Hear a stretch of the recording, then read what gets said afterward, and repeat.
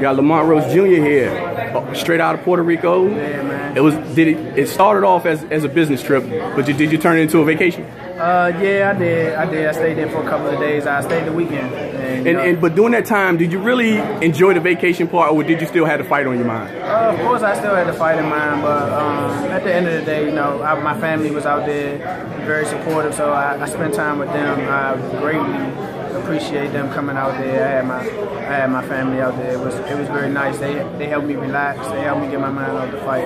And, you know, thinking back on the fight, you know, as I was watching it, to me it seemed like a, a fight of two counter punches, basically.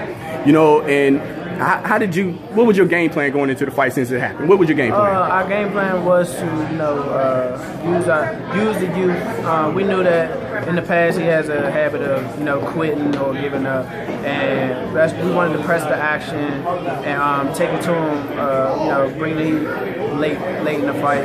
Um, eventually stopping him. You know, making a statement to show that you know I'm I'm ready for championship fights, and um, we didn't execute that as well as we should have.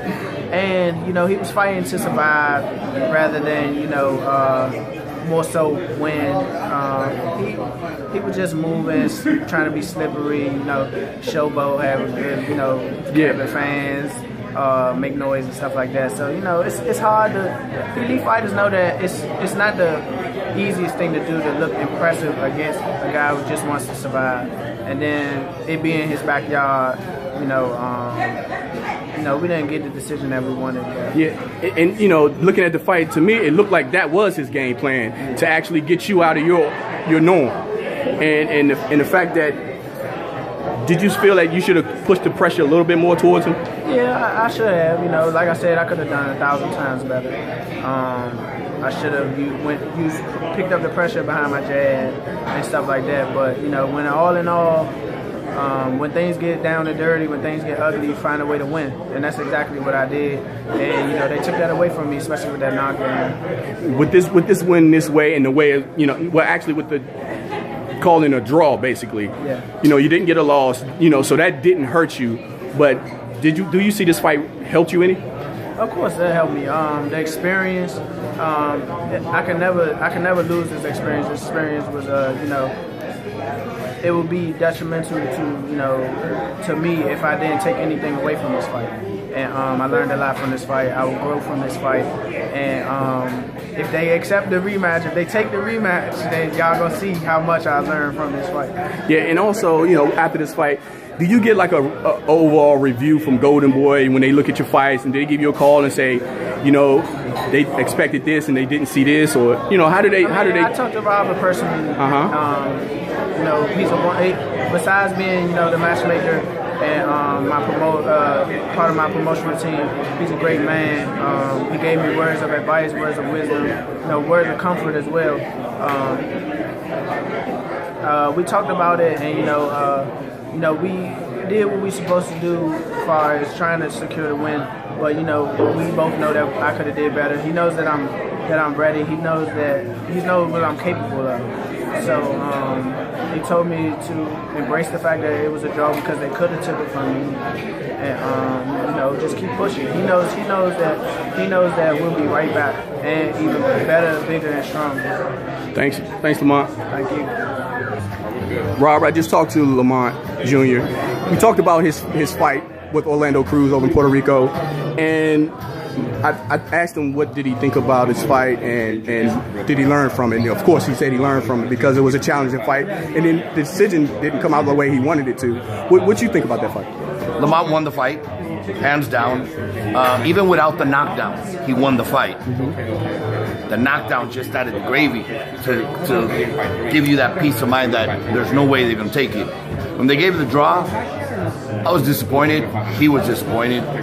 Um, but it was more disappointing to see him hurting so much because when you're in boxing, you know it's part of the game. It's not the fun part, it's not the right part, it's not the good part, but it's part of it. I was just happy they didn't take it and give him a loss. They took it but gave it a draw. But it hurt me to see Lamont so, you know, so upset, so emotionally hurt because he had envisioned already that strap. Now the good thing is Monday morning, contacted WBO and showed them the clip, obviously saying this knockdown cost them the win, requesting an immediate rematch. I've gotten notification today that I should be receiving it anytime soon, where the WBO will order the immediate rematch. And this time we do it on this side, and hopefully we could do it in DC and, and, and turn it around. Look, I don't want, and I said the same thing in this fight, don't want favors, just want what's right. Let the best man win.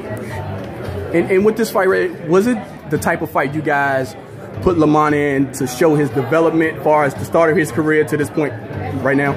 Lamont's one of my favorite fighters. Not only, I mean, uh, that he's a Golden Boy fighter, but he's one of my favorite fighters. He's a young fighter. Reminds me, I, I, I, I always vision fighters that, oh, he reminds me of so and so. I I grew up in the 80s watching the 80s. I'm a big fan of the fighters of the 80s. And not from the 80s, but uh, years later, he reminds me a little bit of a Sugar Shane Mosley because he fights in the pocket so well, works the body so well, uh, takes away the punches without moving around. And yes, this was a fight that was a step up. Regardless of the outcome, I'm happy because the growth that he got in this fight is priceless. Lamont grew as a fighter in this fight because of the experience. Um, I am positive that in the next time around, we won't go to the judges. Appreciate it. Thanks very much. Thank you.